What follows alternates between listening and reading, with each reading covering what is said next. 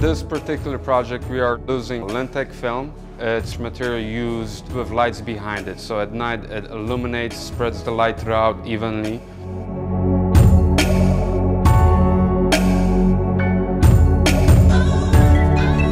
The best part about this project, it's going to be seen by many, many people, maybe even millions of people. You know, at the Chicago History Museum, we're right at the corner of North Avenue. We're very proud to say that our name is on it.